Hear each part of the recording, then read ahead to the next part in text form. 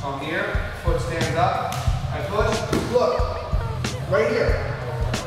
Foot on the hip. Right, see his hand behind my head. That's where it should be anyway. I'm gonna take this like this, try and stop it. If the hand was in front right here, I'm just gonna take it back.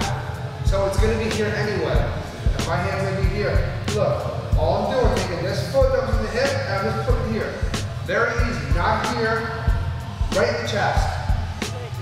The other leg, I'm gonna move my arm at the same time, and see how I'm moving my body? I have his arm locked.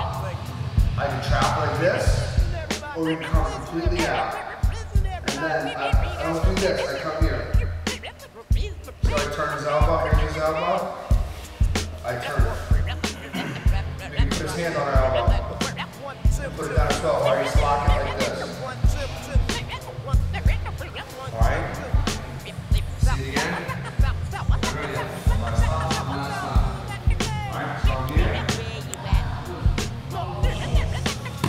I no I'm gonna come right here.